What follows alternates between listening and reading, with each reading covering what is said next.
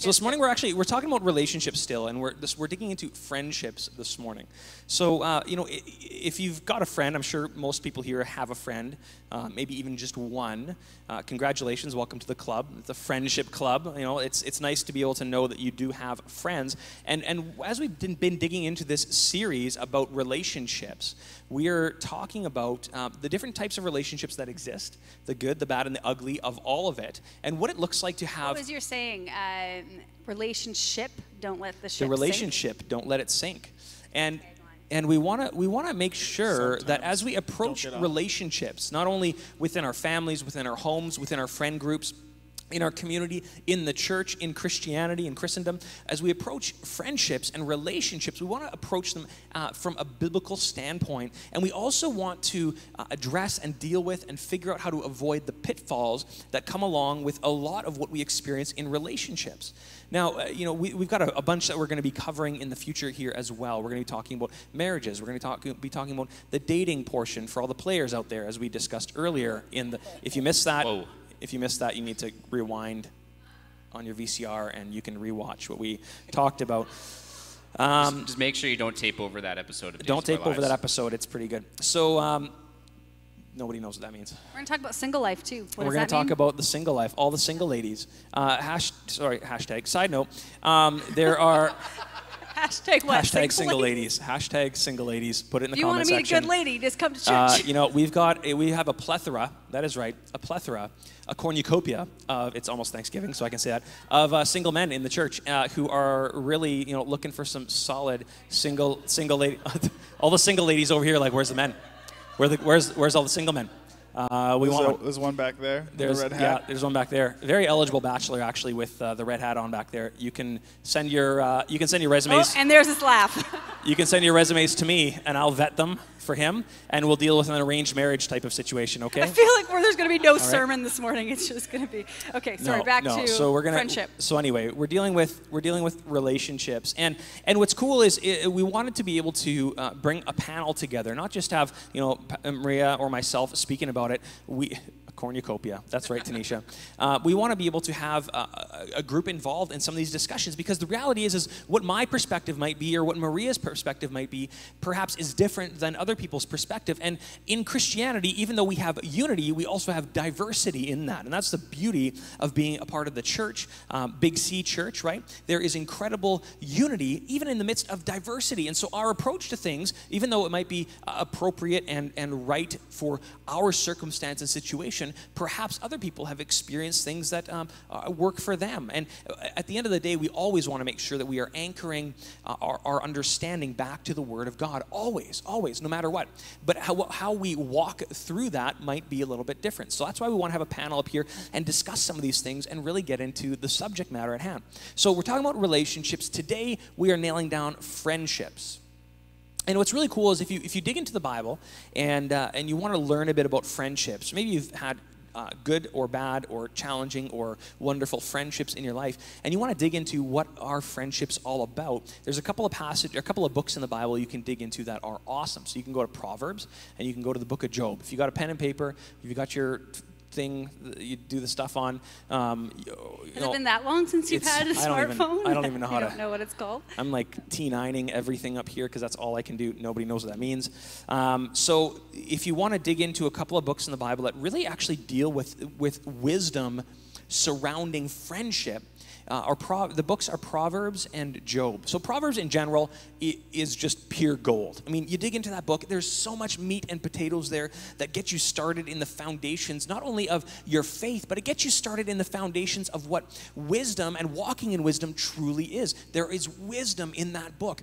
The other one is Job, and Job is really cool because it paints a picture of what it is, what it looks like to go through horrendous challenge, incredible loss, more than we can ever possibly perceive, yet still in the midst of it have people around you. And even when you don't have people around you, what it looks like to turn to God in the midst of the challenges. So I would encourage you to dig into both those books. Um, you know, they're great to read while you're in the bathtub. Uh, they're great to read while you are not going for a drive, but uh, maybe as a passenger in a vehicle. They're great to read while you are getting ready to go to bed at night. Uh, really good stuff to stick to. But when we talk about friendship, or I actually have a few questions I'm going to ask for, for our panel today uh, and dig into some of these things. But when we talk about friendship, it's important to remember that a, a real friend, a true friend, isn't someone who just covers up your faults or, or makes a decision to just, um, you know, lie to people around you to support maybe the delusion that you're living in. A true friend actually reveals these things in love so that you can grow and you can be nurtured and you can be encouraged and you can actually be better on the other side of it. And, and Proverbs actually speaks about that in spades. It's amazing to see how that's discussed. And, and we often, when it comes to friendship, we often share so much of ourselves with the world around us. If you've got a Facebook, put your hand up. Yeah, oh yeah, everybody's got. Uh, Instagram, yeah, Instagram. You need to put your hand down. You don't. Oh, anymore. I don't. I don't. Uh, oh, what's the other one? The Snap, uh, Snapchat. If you got the Snapchat? if you got the Snapchat, you can. Yeah, excellent. This is where our daughters, specifically the oldest one, sighs. It's like I don't have Snapchat. I'm not allowed she's to have not allowed Snapchat. to have Snapchat. What- What's the other A big one. What is It's a it? Ping pong. Pi- TikTok. Ping pong. The ping ping. Do you have the ping? Do you have the ping pong? Ping Yeah. pong. Do you got the ping pong? If you got the ping pong, uh, I've never, I know, I've never actually seen a TikTok video except for what my daughters have shown me. What's wrong with me? That's okay. Continue. You're not okay, missing much. Let's continue. I'm not missing much. It's everybody trying to do the same dance. I think is how it was supposed to work. Um, so we, we share a lot of our we share a lot of ourselves, right? We share a lot of ourselves in the online world, in the digital world, in, in social media. We share so much of ourselves. And, and think about yourself as something precious, okay? Imagine that you are a pearl or a, or a portion of gold. And then if you go and you distribute that or bust it up or break it up and hand it out to every single person, suddenly you've taken something that is of great value, of incredible worth and importance, and then suddenly it's cheapened. It's cheapened because now everybody has a bit of it, so who cares? Let that sink in for a minute. Uh, And you can actually apply that to so many portions of your life. But when it comes to friendship, that is actually not the intention for friendship. In the online world, we have so many friends or followers or people who, uh, you know, bolster us. We surround ourselves with people who share the same opinions with us and, and nurture perhaps even bad behaviors in our lives. Yet the reality is, is are those, I guess the question asked today is, is that real friendship? Is what we see in our online communities or our digital selves, perhaps our avatars, are those, are those reflections of a real, actual, real friendships? Or are we cheapening the value of who we are? Are we lessening our worth because of how we are distributing portions of ourselves all over the place? We, we have hundreds of people, or even thousands of people, that we divulge our lives to that we bring into our sacred personal spaces.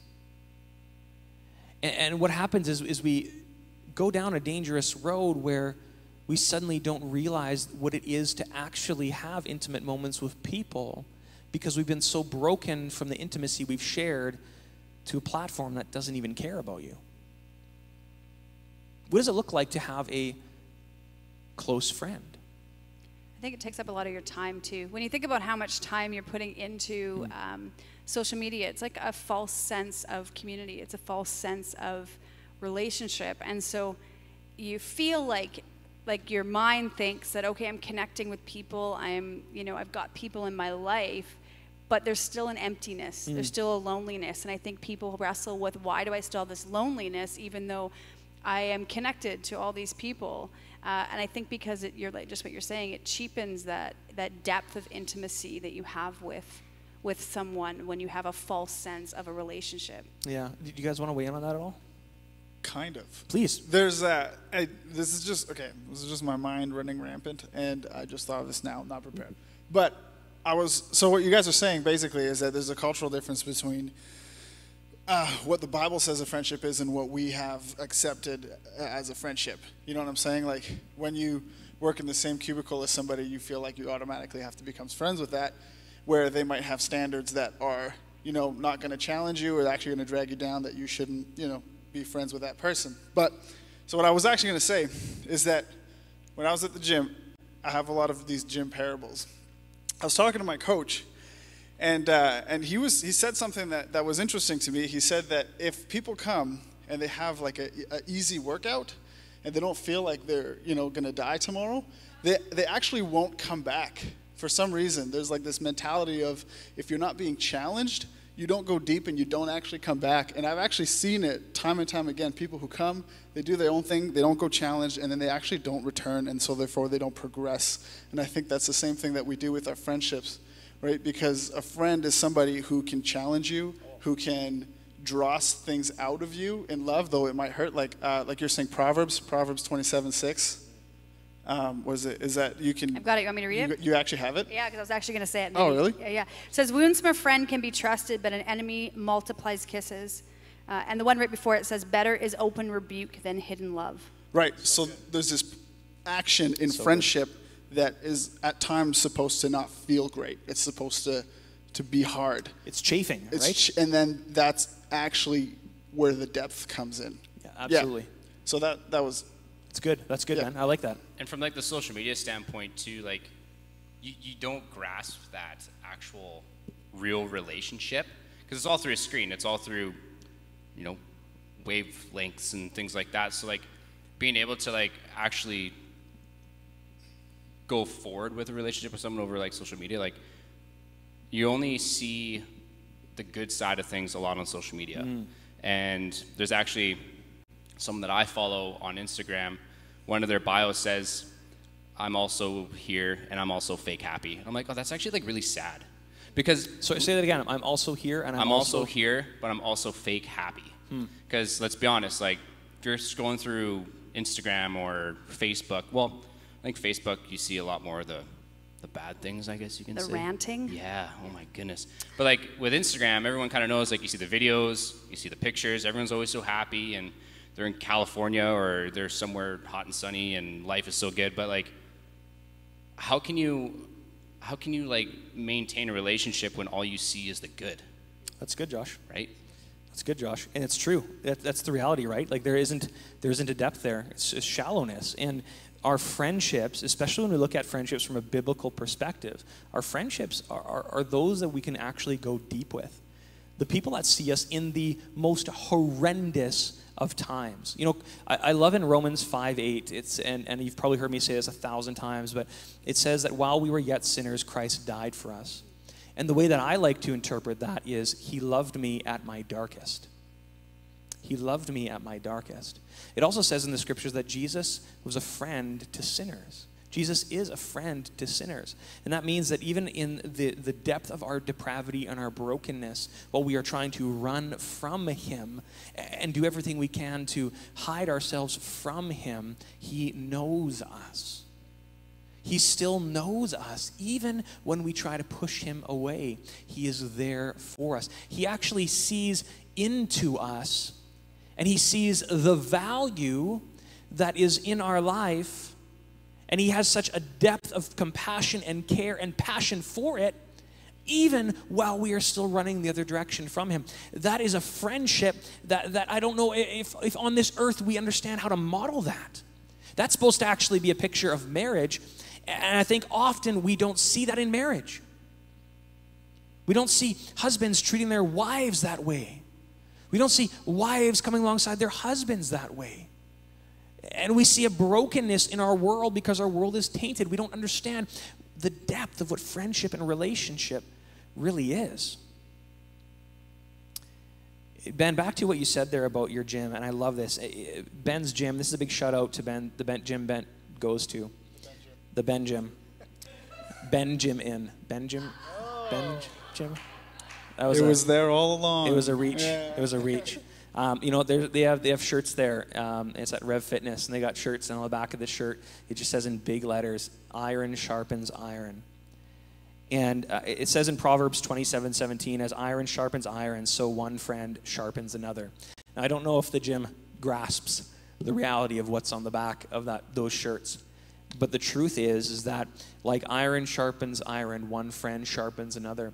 And if you are introducing people into your lives that actually aren't challenging you, that actually aren't coming against you and sharpening you, are they actually there for you? Or are they just soothsayers?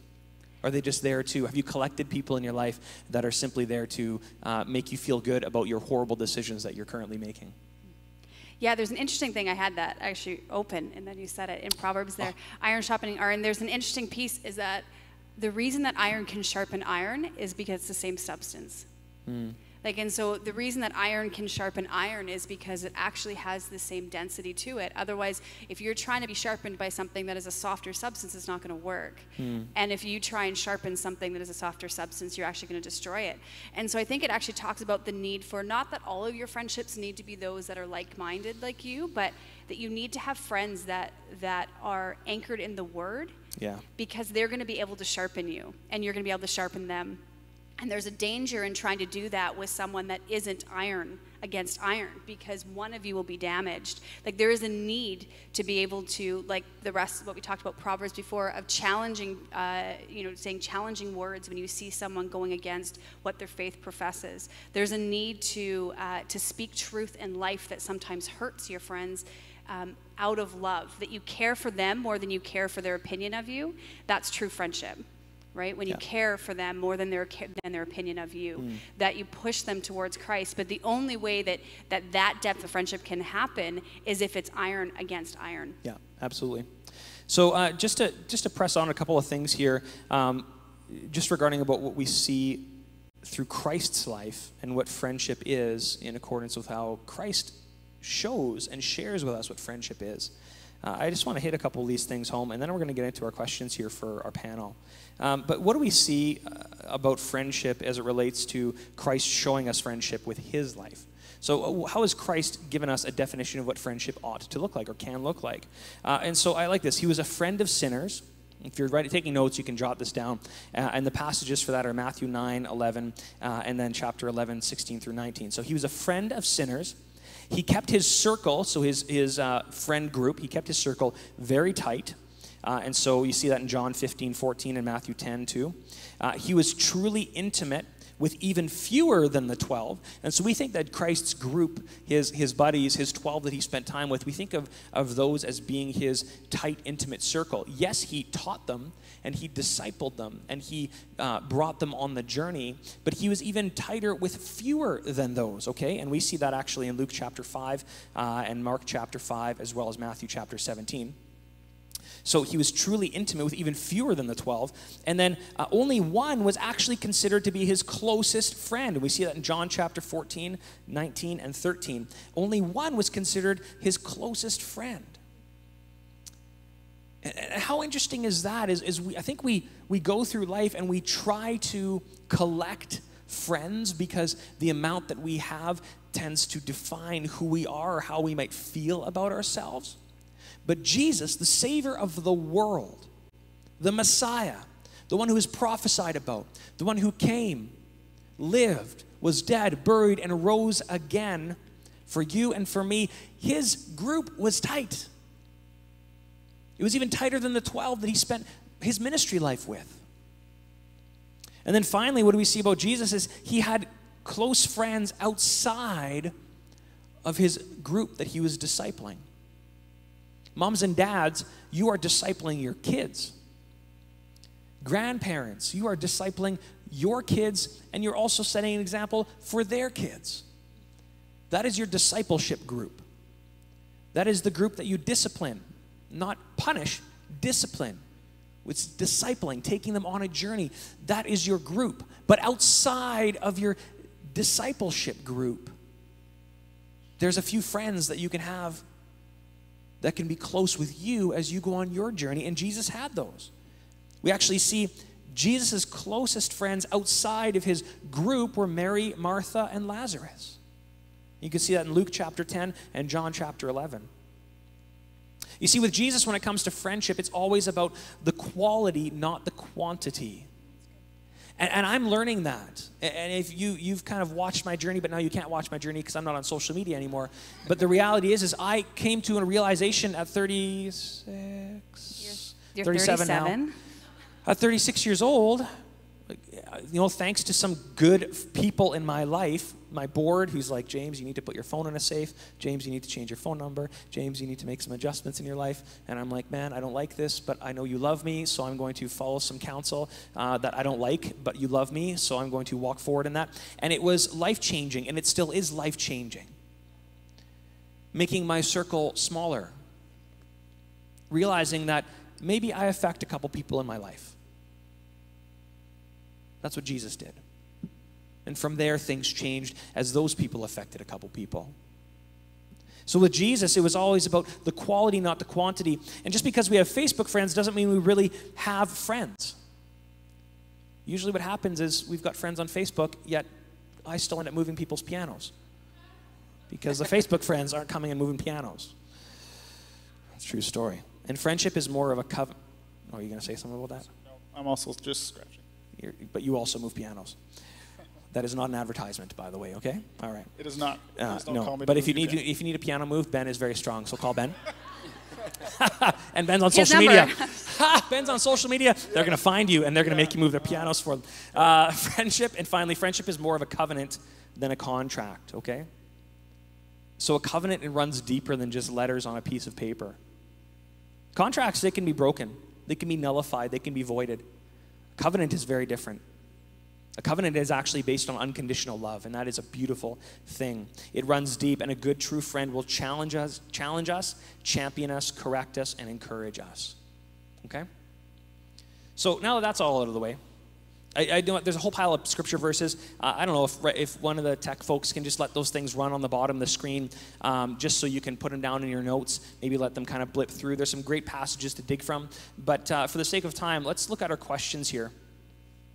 And I just want to ask you guys, and, you, and each of you can answer, or maybe one of you can answer, and we'll go through the list here. So, what number one is what does friendship mean to you? And I think we'll start with Ben on this. What does friendship mean to you? I um, personally, for me, is that it's, it's somebody that you feel first of all that knows you because you all, you always want to be known. And what I like to alliterate that, imagine somebody buys you a gift and you're just like, oh, you know me so well. Like you get that, that kind of feeling, right? But there's uh, behind that, there's an aspect of, you know, you are thought about, you are cared for, right? And and there's uh, a, a base layer of love from this person to you, and I think that that like we were talking, where there's somebody who invests in you so that they can correct you, and I don't think you get that. You can have different levels of acquaintances, right? People that you know, maybe people that you know very well, but that don't have that door into your life, or they haven't bought it or earned it somehow. You know what I'm saying? And not that it's all about you, that people have to come in and cater to you, um, because I think you could also be a bad friend, right? Where if if some people try to come into your life and they notice that you're not doing something right, and then they're like, hey, you know, like you you're going down a destructive path, you're doing this, and uh, I'm just saying this. They they were willing to make themselves uncomfortable for your sake, and then that is rejected by you. I think that that you should run through your mind and say, "Am I a good friend?" Right? Um, but what? Yeah. So, what does friendship mean to me? It's it's somebody that can really just do that. That has invested the time to allow iron to be sharpened with iron. You, yeah. Yeah, that's good. Yep. That's excellent. Thanks, Ben. I appreciate that. Um, Josh, uh, you know, what does friendship mean to you? Yeah, I think like Ben kind of just blew it out of the water there. I'll go second next time. No, like yeah, same thing. Like someone who's just able to like you know, just be there for you and is able to call you out on the things when things kind of get bad, you know. And yeah, like it could be an uncomfortable situation, like whether it's yourself that's calling out one of your friends or one of your friends calling out you. For me, that's like that's a big thing for me, and what I think friendship really means to me is just someone who's actually able to hold me accountable for my actions, the things I say, and vice versa. To keep it short, really. That's good. Yeah. You want to say? What does it mean to you? Um, what does it mean to me? I would say what I know it's not doesn't mean. It's not a mentorship. Uh, I Oh, think that's good. I think for me, as I thought about this this week, and I, I'll get into a little more when I talk about my struggles. Um, I think I'm really good at being a mentor. I think sometimes I struggle with friendships. Uh, my default is to mentor. I like to teach, I like to mentor. It's just my default position, and that's not the same thing as friendship. Friendship is this give and take. It's this piece where they're speaking life into you and you're speaking life into them. It is a place that you are willing to, um, to sit with the hardest moments of your life and let someone into that. And that is the depth of friendship that I think sometimes we forget, especially when um, you you may struggle with this idea that it's okay, I can do it. Um, you know, like I can do it on my own, and but you need someone that you can sit with. Um, you need someone that knows those difficult parts of your own world. And so I think there's some of us you can fall into the category of you have lots of people that you're mentoring and not necessarily people that you're friends with. And um, there's a difference. The other thing I would say, friendship. Friendship is not your spouse um, your spouse, your relationship with your spouse, there's a definite, there's a part of it that is a friendship, but you need friends outside your spouse. So if you're married, there is actually a deep importance to have friends that are not just your spouse. I think sometimes when you're married, you you think that person becomes your everything, but you need spaces outside of that relationship. Friendship is also not your family. You can be friends with your family, but you need friends outside of your family. And the reason why those things are such a big deal is because you need a different perspective. The people who are with you day to day, um, you know, you see the the worst and the best sides of them and you need sometimes someone with a different perspective to look at you and, and to be able to speak truth that, that those people might not be able to. So um, those are the things i would like to say. I think what friendship isn't it's not just mentorship and it's um, not your family and your spouse. It's outside of that that's really good. Yeah, I echo that for sure. I echo that for sure. I think that's a very good perspective, and I, I completely agree. I love that. Having, uh, you know, you're hearing it from the married couple up here. Um, you know, having having friends outside of your family unit, outside of your marriage, uh, are important. Uh, now, public service announcement, uh, I would encourage men to have be friends with men outside of their marriage, and women to be friends with women outside of oh, marriage. Yes. Otherwise, yes. things can go sideways yep. yesterday, and that is not a, we don't we're not encouraging those things today um, or ever actually. So uh, make sure that you know when you're yeah, not just today, not just ever. Today. Yeah, yeah, that's like a yeah. statement. At noon today, like, the time yeah. it's up, go, yep. it's a free for all. That's not true. Um, so yeah, we really want to just encourage that. I think that those are really all of you. Those are really good perspectives, and I appreciate those perspectives. I think those are solid. So um, I'm going to put an open question out there then, uh, and whoever wants to answer this one can. So how have you been a good friend? Yeah, I'll go. Go for it. You got notes. I got notes. I got some notes because if I don't have notes, I just. Josh is new at this. I am. I'm usually up here with a guitar and I can sing, but now Yeah. I have a laptop. Now you gotta talk. I have to hold on to this thing. This is ridiculous. How have I been a good friend?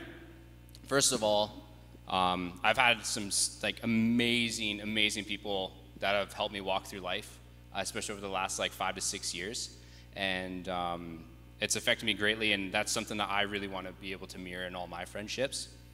Um, so I looked at this as like kind of like you know like the interview questions like give me three of your greatest strengths and three opportunities so Absolutely. that's kind of What are your three greatest strengths as friendship? my f- three greatest strengths of a friendship here we go um, i feel that i always encourage and uplift people um, for myself like i know that god has gifted me and um, has kind of created me into like a natural born leader um, so being able to lift up people, um, you know, through their through their trials or whether it's trials or not, um, that's one of the one of the things that I feel that makes a really good friend. Um, another thing is that I've got a pretty soft heart, which has led me to love others, uh, to love them in their messes and in their glories. It's another thing I have here that makes what I feel makes a really good friend. Um, and another thing that makes a really good friend, this is what I think is key. It's not just because I'm Newfie, okay? You're what? Newfie Excuse me. Sorry. from Newfoundland, Oh, Canada. where's your accent? Well, we'll talk ca- about that another another day. Oh, okay. Yeah, maybe I'll give my testimony one day. It'll be great. How do you, how do you say testimony in Newfie? Just. okay, my last thing here. Having a really good sense of humor. I think that is super key because, like, I mean, let's be honest. Like, we'll have some friends that are like really uptight, and you can't make a joke with them, even in like if times are tough, and you just kind of, you know, give a little little nudge there with some humor, and they're kind of just like, "That's not what I need right now."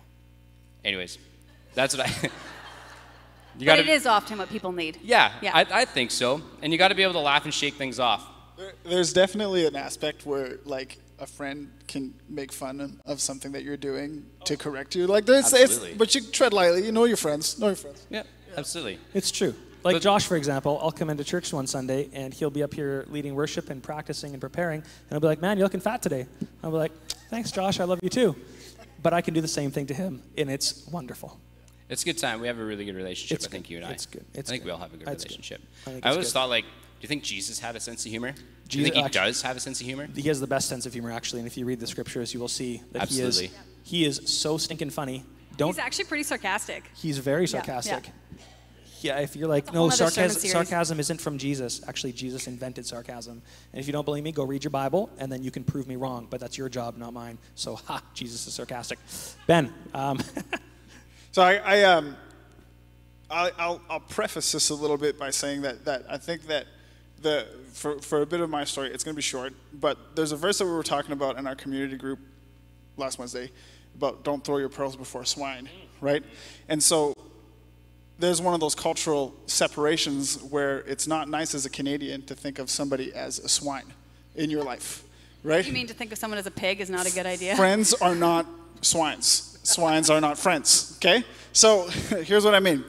There was a time in my life where I was being a real jerk to my wife. Uh, there were some things going on. I was internalizing, and it was just one of those times where just things were just not good, and I was not being a, a good person, right? And then so what, what Kristen did is that she went behind my back and told on me to my friend. And my friend was like righteously angry for how bad I was behaving. Actually came over to the house and said, "You and I, we're going for, you know, we're going for a drive. I've got, some, we've got to talk about some things." And then so I went um, because I knew he was right. Right? You know, like when you know you're doing something but you can't help yourself, but then somebody is like, "Hey." So that is what I would call a pearl, right?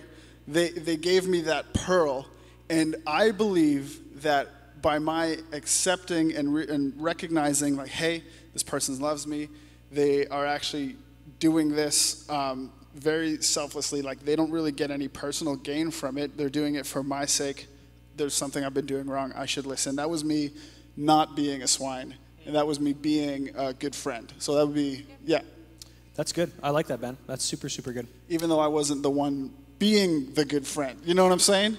Right? Like I had nothing to offer in that moment. You were accepting quality friendship. but that, but that's a good thing to do. That's a good friend. It's good. It's good. So that's awesome. So, um, next question for everybody How have you been a bad friend? This is the stuff nobody likes to answer. Who's going Maria, first? you look like you were going to get Do you want there me to go first? No, Go, Maria. Uh, sure. I actually have an easier time answering this question than the question before that, to be honest. I had to really sit and think, I'm like, how am I a good friend? I don't know. Uh, again, because I think I default to mentorship, so I have to really think about relationships and friendships and what that looks like. Um, how have been a bad friend? Um, I think sometimes I neglect to do what Josh said, which is have humor and fun with my friends. I think I'm pretty serious sometimes. I don't Just mean to. My my daughter Paige actually uh, Paige Paige told me she was looking through pictures of our, our wedding, and I had one of my bridesmaids around my back, and uh, we had these big smiles, and we were goofing around, and she said something to me, and she's like, "Oh, mom, I wish you'd do that now with your friends," and I had to really sit and think, "Oh." It's like, what do you mean by that? And she's like, I never see you goof around with your friends. I never see you just like, I always see you in serious conversations, but I never see you just have fun. And I, I've been actually thinking of that the last, I think it was probably two weeks ago, really thinking about that, about the need for shared experience that is just lighthearted. Um, I have an easy time going very deep with people. I really suck at small talk. Anyone who knows me well knows that I'm really not good at talking about surface things. I, I tend to just dig in really deep. But I've really been challenged. I think people can go that direction and not go deep, and that's not healthy. But I think for me, uh, I'm learning and trying to learn how to be a good friend of just shared experience, just having fun, laughing more um, together, and uh, spending those moments. I think also a bad friend, I think I'm not great if you're not in crisis. Uh, again, it's not because I mean to, it's just my life. I think moms, if you're watching, you would understand this. James has a hard time. He's like, why don't you just call your friends? Like, why don't you just talk to them all the time? Why don't you just like, I'm like, because my brain doesn't think about it. I'm so busy answering questions, making sure everyone's fed, making sure everything's done, making sure everyone's where they need to be, and, and organizing things that I don't think about just checking in on my friends. If they tell me something's wrong, I am there. I am 100% there. I will be there. Uh, but I'm not great at uh, checking in and just being a friend that's, that's present in day to day. Um, because again, I could give you all the excuses in the world, but really it's because I need to make priority to do it. And so that would be where I would say I am not a good friend. Okay, thank you for being honest. That's important. Um, you guys, what do you think? I'll go. I think like Check your notes. check my notes. it's a good thing I got a good sense of humor. Fatty. I just kidding. I love you. You know that. Um, how have I been a bad friend? I think one of the oh man, I think one of the biggest things for me, and um, I, I find that sometimes I struggle with feeling that I deserve more of my friends' time.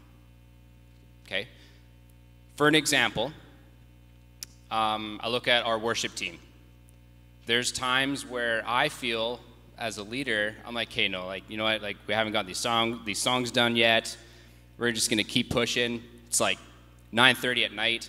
When really, what I should have done was like, we should have prayed, should have talked about it, and I should have respected that. You know, the people on my team, they also have families, they also have other things that they need to do.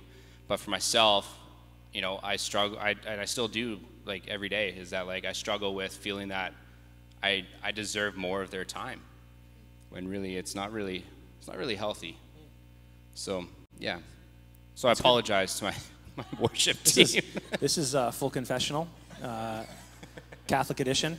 Uh, Father being real. James. It's being real, man. Yeah, that's good.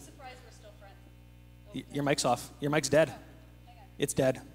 So Ben, last last one here. I'm gonna. I'll change it. That's okay. We're gonna change batteries here uh, on this one. Maria can take my mic. Um, okay, so then uh, finally, last question before we close is: How have you learned, or what have you learned about biblical friendship? What have you learned about biblical friendship? And uh, Ben, you've got a microphone, so that's right. Um, I, I think I've, I've kind of mentioned it a few times. Is that realizing you know there's a difference between um, what we would consider as friends culturally and what the Bible says that a friend is. Right? Like I find myself at kids' birthday parties whose parents I don't know because Caden matched a pair of shoes with this other kid in schools and now they're friends.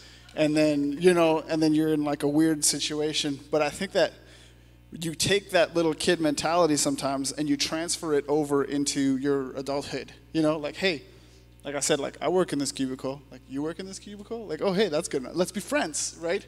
And then you surround yourself sometimes unknowingly with bad company, right? You might think that someone's like a, a cool person to hang out with or to be friends until late in your life, but then later you realize they're a swine, you know. But and and you feel like you don't want, yeah, but you feel like you don't want to separate that now because that would be mean or harsh to do.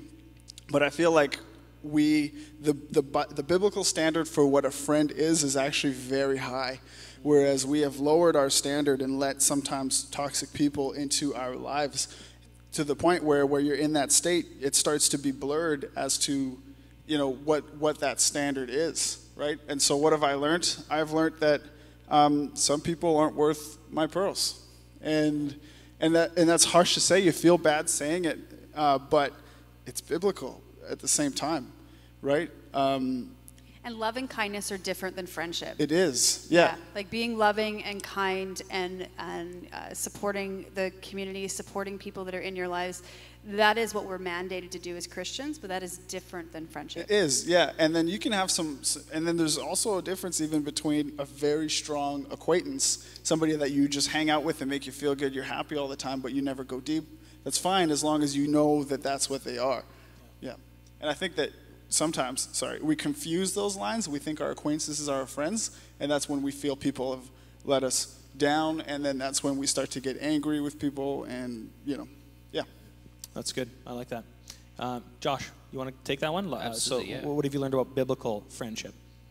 what i've learned about it one thing is that like from like a biblical friendship standpoint is that surround yourselves with others that are also christ-like has been a big thing for me um, and it's funny because like god kind of gave me a word with that and i thought about how the relationship was between jesus and judas okay So everyone kind of knows. Well, if not, I'm going to give you a little summary here. So, so Judas like betrays Jesus on the day he was crucified, and so, but one of the things I was challenged was like, okay, so if Jesus knew that at the beginning, that okay, so this guy is going to betray me. But the thing is, is that Jesus still, I don't, I don't know if it was like if it Jesus just portrayed grace in that, or what it was. I don't know. Maybe you can kind of help me with it, but Jesus still allowed Judas to walk with him, like to walk with him and his disciples. Judas was there when Jesus fed the 5,000. Judas, Judas was there when Jesus raised Lazarus from the dead. So I think, like, from my own personal standpoint of a biblical friendship, is just understanding that you're gonna you're gonna have friends that walk in and out of your lives, and whether you know it or not, I still feel that like betraying kind of what Jesus did with Judas, just allowing it, allowing him to still walk in those aspects. Like you got to think that must have like boosted Judas's faith like crazy, being able to experience those kind of things, right? And um, yeah, like that, that's that's kind of one of the biggest things for me. And God has really challenged me with that this weekend, because I mean, that, I know that I definitely have friends that are in and out of my life, and yeah, I'm kind of challenged with just like, hey, well maybe like I should do what Jesus did, because I mean, ultimately that's kind of our goal, right? Is to be more like Jesus. Yeah, he, he, he met Judas where he was at. Judas was on the journey w- with Christ, which is fascinating. He saw those things absolutely bolstering to his faith. Um, and even though Jesus knew what Judas was going to do, even before everything all happened, yeah, he, Jesus still chose to be the friend. Yeah, that's right. Yeah. Jesus still chose to be the friend to Judas. And even though there was that betrayal, even the betrayal with the kiss, um, Jesus still chose to have a heart of compassion and care for Judas, even in the midst of the betrayal. Now, did, did Jesus have boundaries? Did he have, um, you know, you know uh, was there consequence? And uh, yes, there was, of course, all those things. But Jesus still chose to rise above the circumstance and uh, endeavor to be a part of Judas's life, which is unreal. Given the, the degree of betrayal that led to death, that is a fascinating thing that we can glean from. Uh, biblical friendship. Oh, I'm going to drop my phone. Oh, thank you, honey. You're welcome. I appreciate that. That's because I love you. Oh, thanks.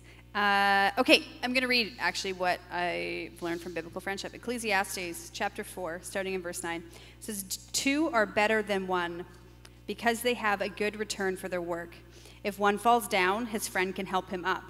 But pity the man who falls and has no one to help him up. Also, if two lie down together and they keep warm, how can one keep warm alone? Though one may be overpowered, two can defend themselves. A cord of three strands is not quickly broken. Mm. Biblical friendship is exactly that. It's we're not meant to do it alone. I think you never really notice that you need friends until you need friends. Yeah. And usually by the time you realize you need friends, you don't have the energy to make friends. And so there's a need to actually do what this says is you are supposed to walk life with other people. Mm-hmm. And biblical friendship means everything we've already talked about, but it's really that that you need someone there that can pick you up when you fall and you need to be the person that can pick someone up when they fall. That's good. That's excellent. Uh, worship team, I'll call you guys up and you can uh, we'll close up with some with a song here. Um, but but really when it comes down to it, what we draw from the scriptures, what we see in the scriptures, uh, really paints a beautiful picture for what it is to have a, have a friend, be in a friendship, but also be a friend to others. Uh, and know what? Maybe, maybe there's some, uh, you know, dealing with that you have to walk through right now. Maybe some of this stuff is sparking some things in your life. Maybe, you're, maybe you've realized, man, like, you know what, my, my friend base is far too broad. Uh, maybe I've got a ton of acquaintances, but I don't actually have any real friends. Uh, you know what, I've never had actually anybody come alongside and, and challenge me on things before. Hmm, maybe that's an issue. Uh, or perhaps you're in a position where you're saying, man, I don't have any friends, and you've done a very good job at pushing people away for most of your life, and you aren't, you aren't easy to be a friend with. So maybe there's some reckoning that has to happen and some processing. But here's the cool thing here's the answer to all of that when it comes to processing and reckoning and dealing with and, and understanding these things. This is, this is what I want to share with you this morning because it's so important and so true. You can go to God who is alive, who is here with us. You can go to God and say, God, I think maybe I've messed this up. Uh, I actually don't know what I've been doing. I've actively pushed people away. I'm terribly insecure. Uh, I've caused so much hurt and brokenness and pain. I don't even know how to unwind any of these things. Uh, I am actually in the midst of chaos and disaster. I don't know what to do. You can go to God with all that. He's not going to run away from you, He's far bigger than that. And you can say, I need your help. And what's really cool, and this is true, what's really cool is that if you go to God with sincerity of heart, if you go to God with honesty, if you go to God with depth and truth, I promise you, when you make the requests of your heart known to Him, He's faithful to answer. He's faithful to answer. You can go to Him and say, I am a mess. I don't know how to deal with this issue of friendship in my life. And something is going to start happening. You know, the Holy Spirit, it's the unseen portion of God that ministers to us. When we, when we say, We need your help, God, He is always faithful to come in and bring restoration and bring healing and do an incredible work that is life giving. Might mean that there has to be some deconstruction along the way. In fact, it might even mean that a faulty foundation has to be completely torn out, and it might seem like a very challenging time to walk through while you're going through that. But know this when you put your life in the hands of God, when you put your life in the hands of God, there is no one more capable than Him to build you up, to restore you, to minister to you, to rebuild the foundation that's been ruined, and to give you life and to give you love and to give you hope. So I want to end with that. Let's close with a word of prayer, and we're going to close in one last song. Heavenly Father, we thank you for who you are. We love you and we praise you. And we thank you that your son Jesus is indeed a friend to sinners. Thank you, Jesus, that you've met us where we are at. While we are a mess, you still chose to die for us. We thank you that because of you, we can have life and life in abundance. And Lord, I just ask right now that everybody who's watching, the folks that are here, upstairs, downstairs, everywhere in the farm, I just ask, Lord God, that you begin touching hearts right now and you stir up a desire for biblical friendship. Not a billion friends so you can have importance on Facebook, but rather, Lord, instill in us a desire for biblical friendship. Those places where we can go deep those places where we can have intimacy, those places where we can see a reflection of you. We love you, Lord, and we thank you. In your name we pray. Amen. Folks, thanks for joining us today.